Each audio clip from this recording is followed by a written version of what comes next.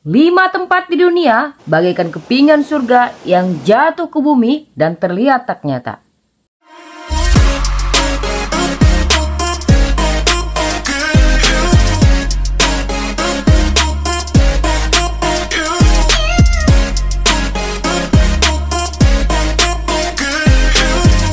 Di dunia ini ada banyak sekali hal-hal menakjubkan yang merupakan hasil karya yang maha kuasa yang bisa kita nikmati.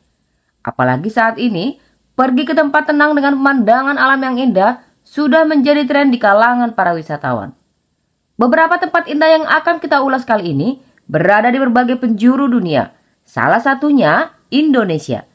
Bahkan saking indahnya tempat-tempat ini mampu membuat kita terhipnotis walau tidak kita kunjungi secara langsung.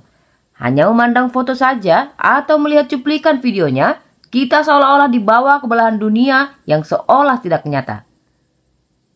Nah, berikut ini kami sajikan 5 tempat di dunia bagaikan kepingan surga yang jatuh ke bumi dan terlihat tak nyata.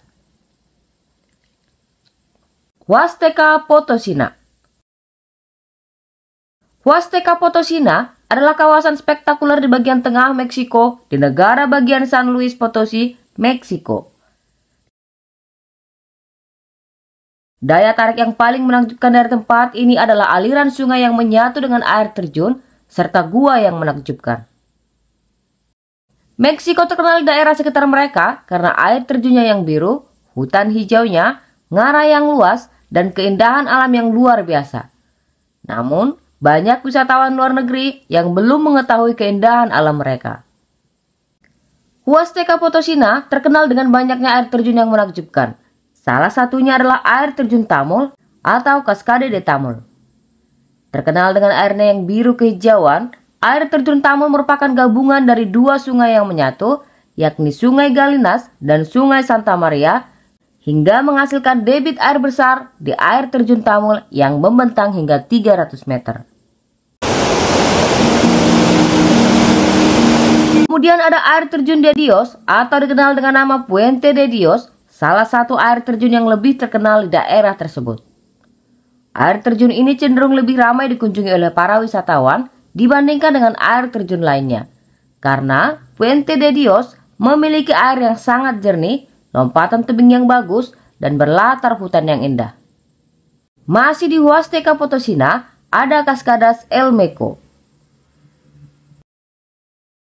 Cascadas El Meco adalah air terjun bertingkat dengan pemandangan menakjubkan yang terletak di kota kecil Naranjo.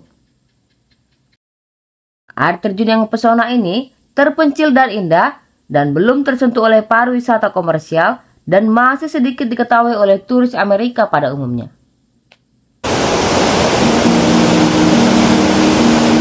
Air terjun Krafika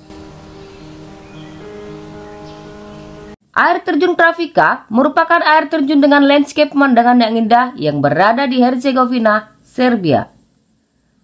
Air terjun ini terbentuk akibat pergerakan tektonik dan pergolakan dataran tinggi kapur tempat mengalirnya Trebizat, sungai yang mengalirkan air terjun.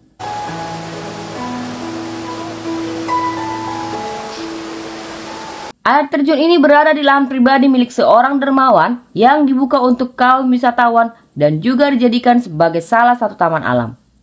Air terjun ini memiliki ketinggian 25 meter dan kedalaman hingga 120 meter.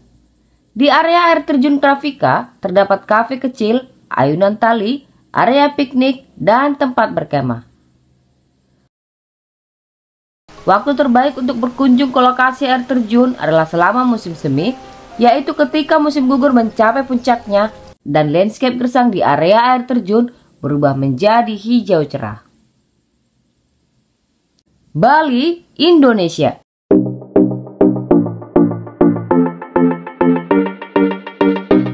Sebagai warga negara Indonesia, tentunya kita sudah sering mendengar akan keindahan pulau yang berada di antara Pulau Jawa dan Lombok ini. Bukan hanya di Indonesia, Bali juga merupakan primadona pariwisata Indonesia yang sudah terkenal di seluruh dunia. Lokasi wisata yang berada di Bali antara lain Kuta dan sekitarnya, seperti Legian dan Seminyak, daerah timur kota seperti Sanur, pusat kota seperti Ubud, dan daerah selatan seperti Jimbaran. Nusa Dua dan Pecatu, Pura Tanah Lot, Pantai Padang-Padang, Danau Beratan Bedugul, Garuda Wisnu Kencana, Pantai Lovina dengan lumba-lumbanya, dan masih banyak yang lainnya.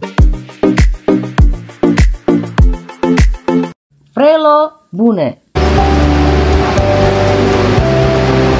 Frelo Bune merupakan situs bersejarah berupa keindahan alam yang dipadu dengan arsitektur yang berada di muara Sungai Buna, dekat desa atau kota Blagac, Tenggara Mostar, Bosnia, dan Herzegovina.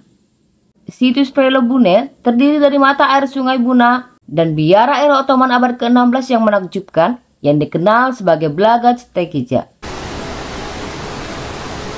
Frelo Bune yang berarti mata air Buna dalam bahasa lokal adalah nama mata air Kars yang kuat dan deras. Mata air tersebut melahirkan sungai Buna yang muncul dari sebuah gua di bawah tebing yang menjulang tinggi.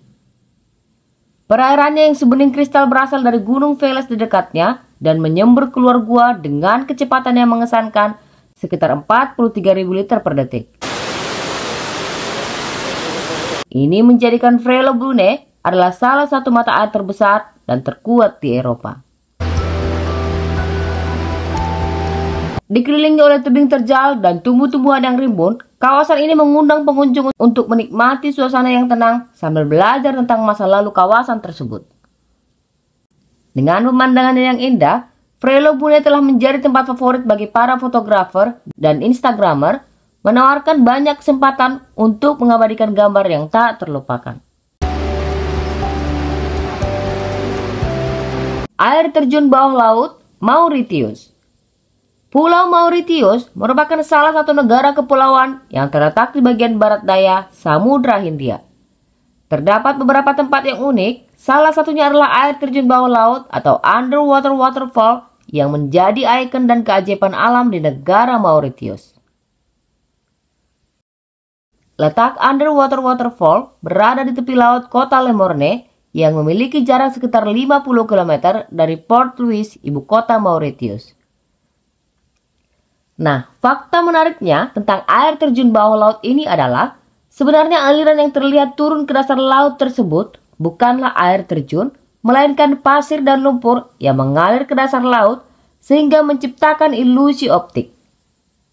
Hamparan pasir dan lumpur yang mengalir ke dasar laut bisa terlihat karena memiliki kualitas air laut yang sangat jernih. Pada tempat yang terlihat seperti air terjun bawah laut tersebut, terdapat titik penurunan dasar laut sejauh 4000 meter ke dalam laut. Kondisi tersebut juga tidak berbahaya bagi para wisatawan yang ingin berkunjung.